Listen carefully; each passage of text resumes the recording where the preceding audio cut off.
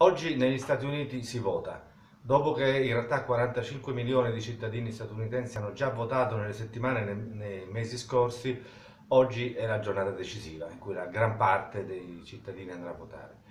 Qui a Bruxelles c'è molta, molta, molta attesa per l'esito di queste elezioni. Non si nasconde un, un sacro terrore di una vittoria di Donald Trump e si appoggia praticamente senza condizioni eh, Hillary Clinton. Lo ha detto in maniera, a modo suo, in maniera diciamo con la sua tipica verve diplomatica, il Presidente della Commissione Europea, a chi gli chiedeva se lui avesse preferenze, eh, lui ha detto come chi sono io per dare consigli ai cittadini americani, al massimo posso avere una preferenza di genere,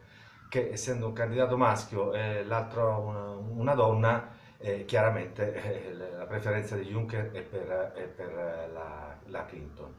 Perché queste preferenze? Perché Clinton garantisce una continuità di relazioni transatlantiche in un periodo molto delicato, tra l'altro, eh, dove c'è in discussione ad esempio il TTIP, il trattato commerciale che Trump vorrebbe, eh, vorrebbe cancellare, mentre invece la Commissione europea ancora ci crede e Clinton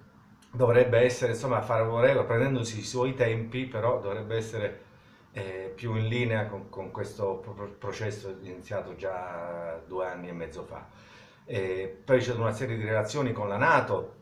che per l'Unione Europea sono molto importanti e che Trump invece vorrebbe sostanzialmente troncare, mentre invece Clinton chiaramente continuerebbe come è stato in passato. Le relazioni economiche, le relazioni politiche, i rapporti di politica estera, con eh, Hillary Clinton eh, diciamo, si è una strada conosciuta che si è già condivisa quando Clinton era eh, segretario di Stato, che è poi diciamo, la funzione principale che eh, ci interessa a, a, noi come europei, cioè la politica estera degli Stati Uniti più che le questioni interne come le differenze con le quali i due candidati le vogliono regolare.